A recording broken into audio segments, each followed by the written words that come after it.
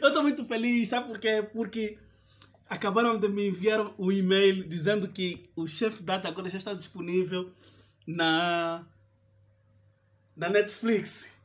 E tipo, poga, uau, estás feliz por quê, meu? Porque vocês não sabem o quanto é difícil colocar um filme africano na Netflix. Olha, já são dois filmes que eu sei que estão na Netflix, que é o, o Menino que Descobriu o Vento e Chef Dad.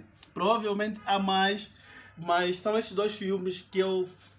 Um estou a falar dele que eu estou a gravar um vídeo nesse momento, depois vou gravar depois desse vídeo, que é o Menino que Descobriu o Vento. Eu ainda não fiz uma review desse filme, ainda não fiz uma análise, mas o Chef Dad já fiz uma review dele, está aqui no link da descrição.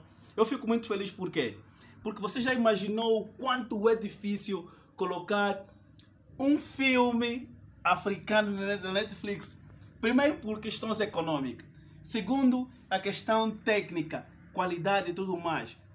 E o Chef Dad conseguiu alcançar essa meta, meu. Chef Dad e o menino que descobriu o vento. O menino que descobriu o vento não tinha como, porque tem pessoas envolvidas nessa área que são tipo de Hollywood e outro nível. Mas Chef Dad, ei, man. Ei, ei, Me surpreendeu estou muito feliz. Quem sabe os requisitos para meter um filme na Netflix sabe a minha alegria.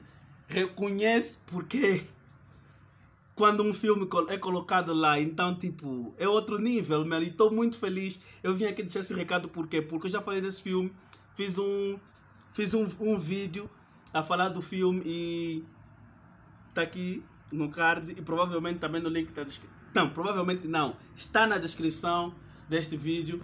Vão lá, confiram a minha, a minha, a minha análise parcial a partir do trailer e espero que vocês gostem. E se você tem acesso à Netflix, recomendo você assistir esse filme porque é um filme muito bom, ok? Olha, vamos lá, vamos lá aqui, vamos lá mostrar aqui um pouquinho de lá fora. Lá fora, não quero só eu. Hum. Hum. é uma zona muito, muito, muito tipo arborizada, muito bonita. Estou gostado aqui onde estou. E eu não vou falar. e está sendo uma experiência muito boa. Também estou feliz porque ganhei o prêmio de melhor documentário no Afro 360 Graus. Mano, não foi fácil. Foi um trabalho muito, muito, muito grande.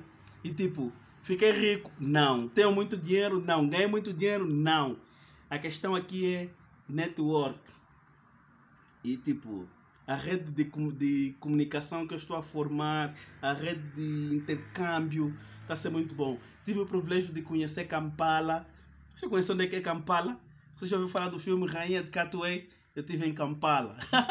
eu estou a fazer um vídeo com uma jornalista lá Fiz um vídeo, não, não estou a fazer, tipo, estou a fazer, tipo, ainda estou lá, já não estou. Fiz um vídeo com uma jornalista que trabalha lá na rádio, provavelmente vão ver o vídeo daqui a pouco. Ela contou também um pouquinho da história de Kampala, foi uma conversa muito boa. O vídeo está ainda aí em bruto, ainda não editei, tenho muita coisa para editar.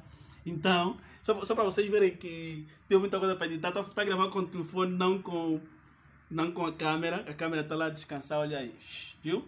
câmera está lá a descansar. É, então, tudo isso só mesmo para falar que estou feliz ao ver o chefe Dad na Netflix. Epa, não quero alongar o vídeo. Bye bye, 4 minutos é suficiente. Tchau.